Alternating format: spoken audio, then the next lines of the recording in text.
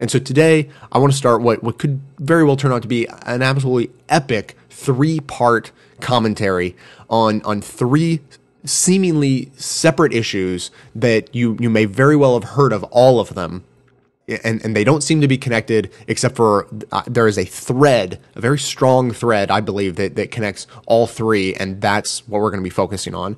And so today I'm going to start with uh, with the first of, of three topics to talk about, and um, and the conversation will go from there, and it's going to be amazing. I can just I can feel it. So so today I want to talk about the episode of This American Life that was retracted, and I, I believe that it was the only episode of This American Life ever to be retracted. And uh, so, so, This American Life, if you don't know, it's you know one of the best radio shows on the planet uh, as far as I'm concerned. And on uh, on January sixth, 2012, they originally aired an episode called Mr. Daisey and the Apple Factory. And you may very well have heard of it because it, it became almost instantly one of their most popular shows of all time. And and so this guy Mike Daisey is a monologuist. His job is to tell, you know, just give monologues, tell stories. He, you know, has albums that he sells, uh, you know, on iTunes or, or elsewhere, and um, and he, and he does live stage shows.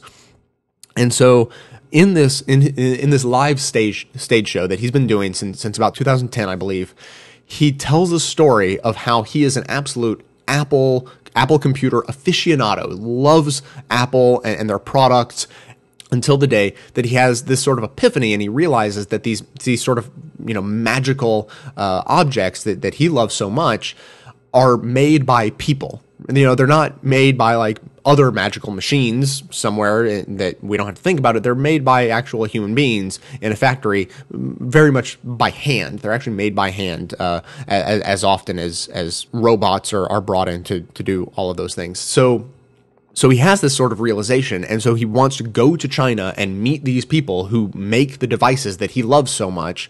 And the monologue that he tells on, on, on Broadway is the story of his trip to China.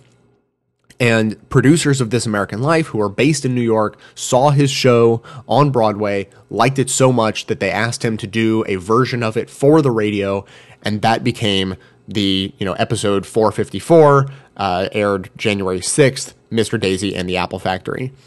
And so skip skip ahead a couple of months to March 16th, 2012, This American Life aired a, a second episode about this story called Retraction.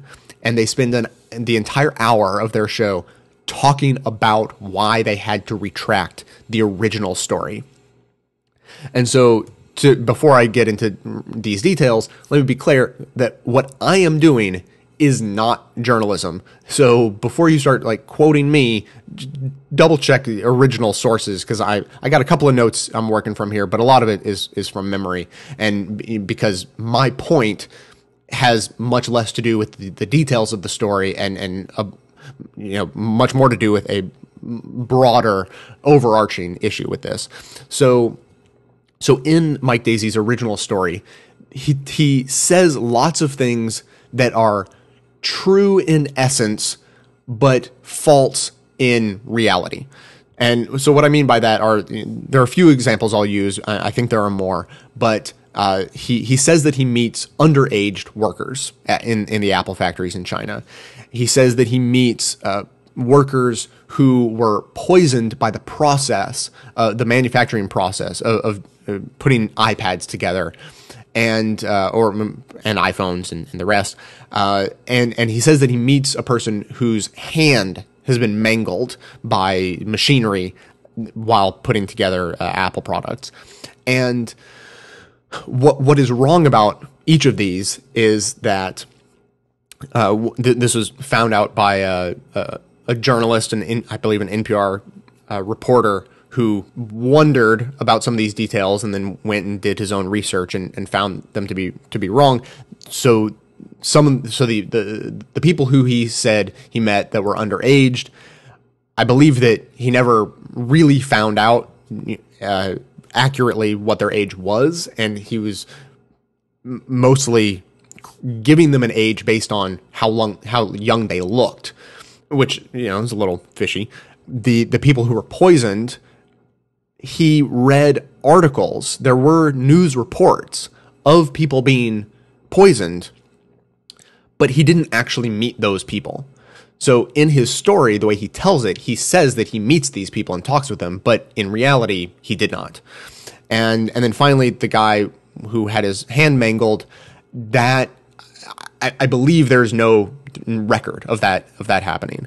And um, and so between the NPR reporter who kind of uncovered these things and his uh, Mike Daisey's Chinese interpreter, that is where a lot of these uh, details are, are, are coming from. That This American Life did not do their due diligence to confirm all of these stories with Mike Daisey's uh, interpreter until the, until after the original story aired, and then they had to run the retraction based on that. So propaganda has such a negative connotation to it isn't you know I, I am not using the word propaganda in in the way you know the nazis would use the word propaganda. But propaganda is about getting the message out and influencing populations of people to believe that message.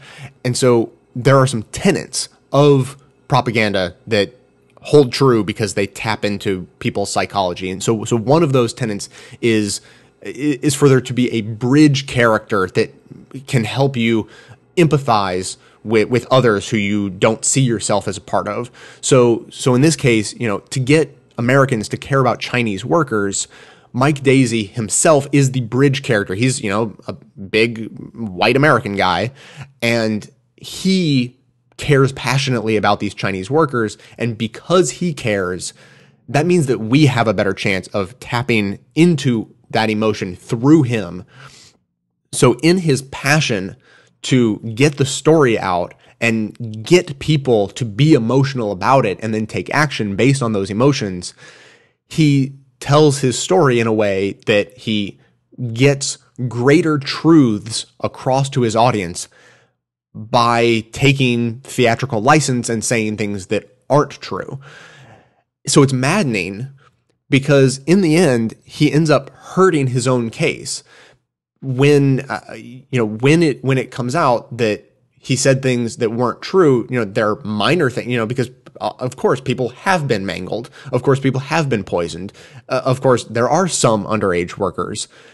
And, but when he says things that are true in essence but false in reality, that opens the door wide for critics to say, "Oh, see, I knew he was lying. We shouldn't regulate Apple, or you know, Apple shouldn't have, to, you know, they, they don't have to make any changes because everything's going fine because this guy said things weren't fine, but he was lying." And so, in the retraction episode that This American Life posted, uh, they they interview Daisey, and and I'm quoting from an article written about the retraction, and and so Schmitz is the uh, journalist who realized that some of these things weren't true, and Kathy is Mike Daisey's original interpreter. And so, referring to the interview with Ira Glass being confronted with having uh, said things that weren't true on the radio, this is from the article. Daisey never flat out admits to lying. Instead, he says that lots of the facts refuted by Schmitz and Kathy, including the underage workers and the man with the deformed hand, are true in a quote theatrical context unquote. And then this is directly from the show himself, uh, you know, the show itself. This is what Mike said on the show. He says, and everything I have done in making this monologue for the theater has been toward that end, to make people care. I'm not going to say that I didn't take a few shortcuts in my passion to be heard, but I stand behind my work. My mistake, the mistake that I truly regret, is that I had it on your show as journalism, and it's not journalism, it's theater. And so he hurts his own case, he hurts his own credibility and, and everything because he cared so passionately about the message that he was blinded to what the response would be if it was discovered that he said things that weren't true because they because people feel misled they feel betrayed because they wanted to care about these things. And and, and so even if they're true in essence you don't want to be lied to in any context uh, while that message is, is coming across.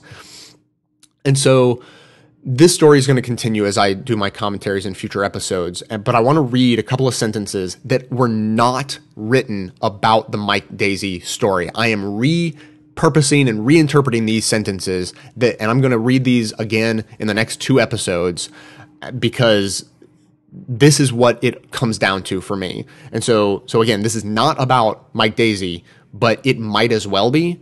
And so, uh, so the first word in this, in, as I begin, is blank. So, interpret it as I'm referring to Mike Daisey's story, even though the original author of these sentences was referring to something that will be talked about in future episodes of this uh, with this commentary. So this, this is what it says: blank will start a lot of good conversations. It might awaken compassion and concern. It will do good but it will also start a lot of overly simplistic conversations. It is likely to inspire people to adopt inadequate solutions out of panic and expediency. It will do harm.